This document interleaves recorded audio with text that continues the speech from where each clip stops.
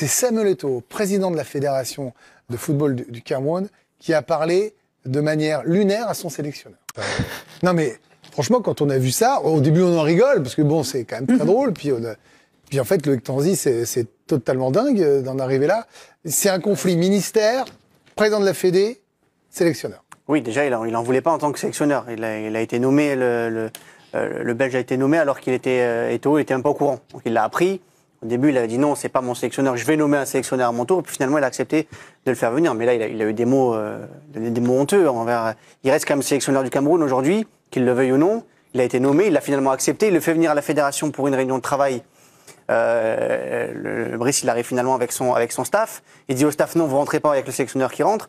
Il a, il a un peu pété un câble quand même, Eto'o aujourd'hui. Beaucoup même. Ouais.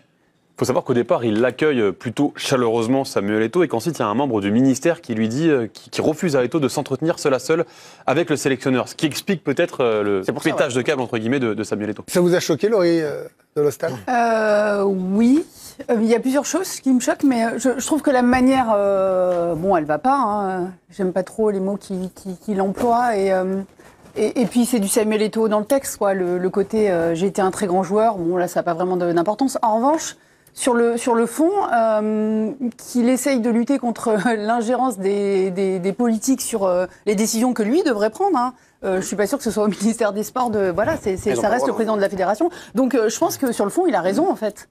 Euh, même si la manière. euh, alors c'est difficile aussi de, de juger parce que je ne sais pas ce qui s'est passé juste avant, je ne sais pas ce qu'on lui a dit jusqu'avant. Euh, Peut-être que quelque chose l'a voilà l'a particulièrement euh, heurté dans ce qu'on lui a dit, mais.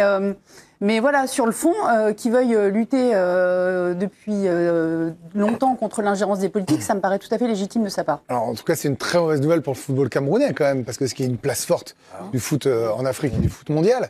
Euh, Benoît Tremoulinas, quand vous avez ça, je, ne vois pas comment derrière, euh, comment ça peut marcher, voilà, tout simplement. Mais déjà, comment va, va pouvoir travailler le- l'entraîneur et son staff sereinement Euh, Ce qui est assez euh, incroyable, c'est que, voilà, si j'ai bien compris, c'est le ministère des Mmh. Sports qui choisit Qui le sélectionneur. sélectionneur.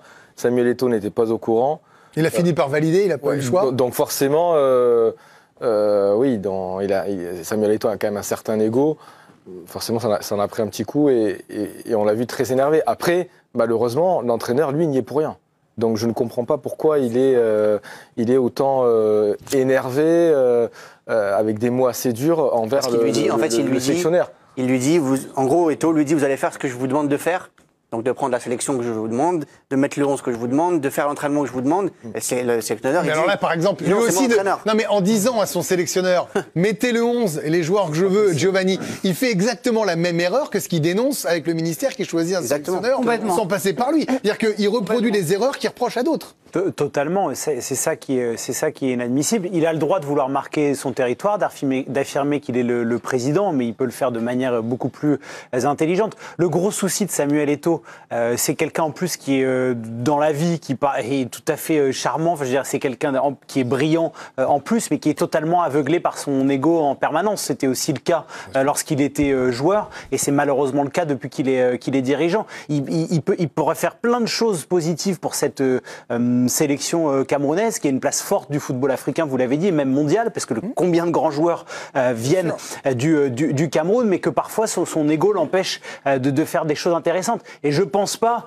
euh, que quand il fait ça, il pense à son équipe et il, il pense au Cameroun, alors que c'est ce qu'il est censé défendre en premier avant de, de, de servir son ego. Et c'est ça qui est le plus triste, je trouve. Bon, c'est une double guerre, enfin guerre, le mot est un peu mal choisi en ce moment, mais en tout cas c'est une double rivalité, confrontation entre le ministère et donc le président de la Fédé. Problème d'ego, Greg. Et le Fédé, et la Fédé, et le, le où chacun veut prendre la place de l'autre, en fait. Euh, c'est quand même une histoire même incroyable. Là, c'est... House of Cards. Mais là, il passe, ouais, mais là, il passe pour le méchant. Là, aujourd'hui, quand vous, quand vous êtes sur les réseaux sociaux que vous regardez, c'est Samuel Eto'o qui passe pour euh, celui au boulard le plus énorme, en fait. Et puis il a, des, il, il a des mots intolérables quand même. hein, quand, euh, quand il parle de, de comment ça se passe au Cameroun, la différence avec en Europe, enfin, il n'a pas le faire normalement. Euh, si, on, si on inverse les rôles, ça se passe. Alors, s'il y a un président de Fédé à ces propos-là en, en, en Europe, euh, ça, ça fait un scandale, c'est impossible.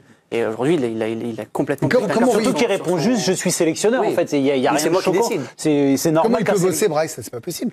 Ah bah C'est impossible de. Bah là- Enfin, je veux dire, je, il- il- Bah là, si demain il démissionne, personne lui en veut. hein. Dire, euh, A priori, il il le- pour l'instant, il ne le fera Non, pas. non. mais, Mais je pense pas qu'il démissionne parce que là, euh, quand, quand il y a eu le, le clash, on l'a bien vu quand même, euh, droit devant, il raison. s'est pas, pas. pas démonté. Donc je pense pas qu'il démissionnera. Oui, mais est-ce que s'il dit j'ai un ministre au-dessus de moi? Et je pense que là, dans l'histoire, celui qui risque peut-être de, de partir, c'est Samuel Eto'o. Parce que si le, minis- le ministère des Sports lui a imposé euh, le sélectionneur, ça veut dire qu'en gros. il Virer a- Samuel Eto'o, c'est pas simple. Oui, hein. mais Greg, ça veut dire quoi? Ça veut dire qu'ils l'ont court-circuité, ça veut dire qu'en gros, il n'a pas de poids dans le football Après, la. FIFA l'interdit. hein, Normalement, les Oui, politiques n'ont pas le droit. C'est pour ça que sur ça veut le- dire quoi? Oui, mais alors, est-ce que ça, ça peut faire bouger? Alors, tiens, très bonne, très bon, euh, très bonne relance, Loïc. Est-ce que ça, ça peut faire bouger les choses sur l'agence Est-ce que la FIFA va avoir le courage d'intervenir là? Bah, il devrait. Non, mais oui, Oui, d'accord, parce que mais- là, là, il y a clairement une ingérence. Donc, mais J'y euh, crois pas un seul mais- mais- Que la FIFA. Moi, je pose la question, mais j'ai la réponse. Non, hein. mais c'est impossible. Alors, quand on connaît, alors peut-être que les politiques n'ont pas le droit euh, de, de, de venir euh, choisir à la place des fédérations, mais en tout cas, les politiques et la FIFA, eux, ils ont les bons numéros de téléphone, ils se parlent et ils s'entendent très très bien. Donc, ça, m'étonne. Cela dit, en France, on a eu des politiques avec un président hein, Oui, mais je sais. de la fédération. Oui, non, mais donc euh, donc bien c'est c'est c'est c'est un peu c'est impossible de faire autrement. Mais vous vous parliez de qui passe pour le méchant, etc.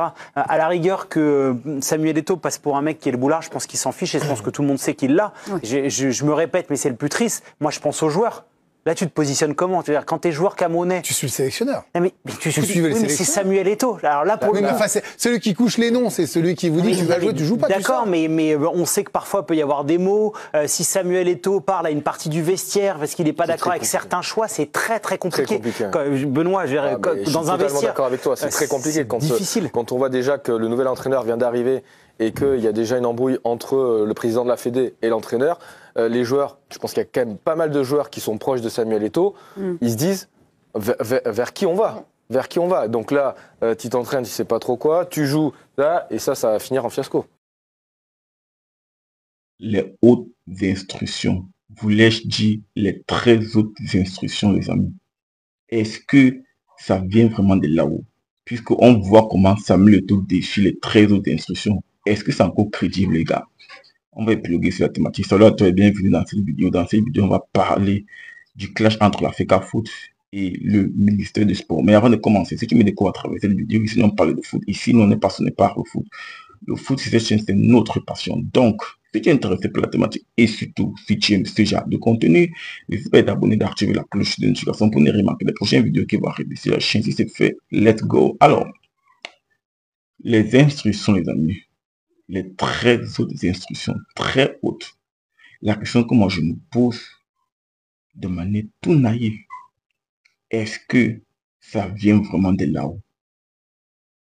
Est-ce qu'il y a encore un capitaine dans ce bateau? Est-ce que le Cameroun est encore dirigé par un capitaine? C'est que ce que moi je me pose. hein. On s'en souvient, le 10 février, le chef de l'État, pendant euh, le discours des jeunes, il avait dit, j'ai donné des instructions fermes au ministère du Sport.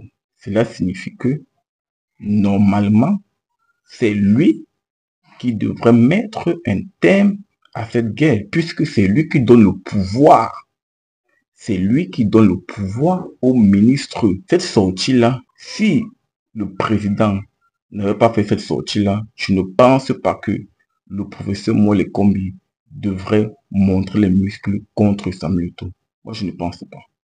Moi, je ne pense pas, les amis. Moi, je pense que cette sortie-là, c'est ça qui donne du pouvoir à Moelle Combi, le professeur Moelle Combi.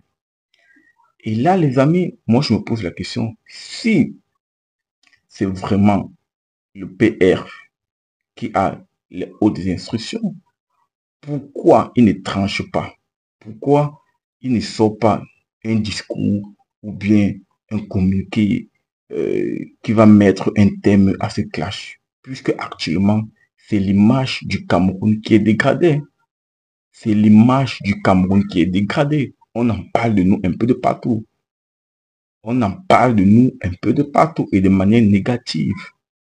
Donc, si c'est lui qui a les hautes instructions, pourquoi ne pas sortir un communiqué, une vidéo, euh, un discours, etc. Rien. D'où ma question, est-ce qu'il y a encore un capitaine dans ce bateau?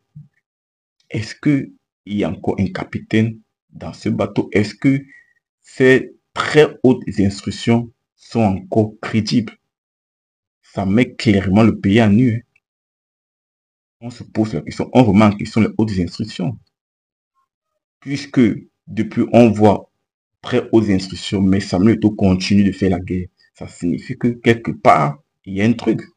Il y a un truc qu'on ignore, qu'on ne sait pas. Donc, euh, les amis, moi je pense que dans ce clash-là, dans le fond, c'est Samuel Eto'o qui a clairement raison. Même si dans la forme, est-ce que ça valait le coup de mal parler à Marc Moi, je trouve que euh, il pouvait parler de manière un peu euh, diplomate. Il pouvait un peu faire de la politique. Il ne l'a pas fait. Bon, on peut s'interroger sur la forme, mais le fond, pour moi, il a raison. Il a raison. C'est inadmissible que tu es président de l'Afrique Foot. On t'impose. On t'impose l'entraîneur dans un premier temps. Tu acceptes et dessus quoi. On t'impose le staff. Tu veux ton staff. Tu veux, euh, comment dirais-je, tu veux amener ton staff. On refuse ton staff pour t'imposer un entraîneur. Est-ce que c'est faisable, ça, les amis? Est-ce que c'est faisable? Est-ce que c'est logique? Pour moi, ce n'est pas logique. Pour moi, ce n'est pas logique. Donc, on peut critiquer la forme du président de l'Africa Foot, mais le fond, il a raison. Dans le fond, il a clairement raison. Il a clairement raison. Donc, euh, les amis, moi, je pense que s'il y a vraiment les très hautes instructions, que cela prenne leur responsabilité. C'est ce que je voulais dire dans cette vidéo. Donne-moi ton ressenti. Et si ce n'est pas encore fait, N'hésite pas à t'abonner et d'activer la cloche de notification pour ne rien manquer des prochaines vidéos qui vont arriver sur la chaîne. Si ce, on se dit à très bientôt pour une autre vidéo les amis. Ciao, ciao